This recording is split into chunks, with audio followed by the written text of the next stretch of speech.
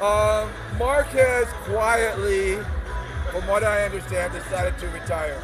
Uh, he didn't want any, any fanfare. He didn't want to have retirement ceremony. We asked him, um, and maybe that's something in the future. Maybe we can get him and, and JJ together and do Yeah. something special. But right now, uh, he is quietly uh, required, uh, uh, retired. Um, he's no longer attending practices, and I don't think that he's under contract at this point anymore.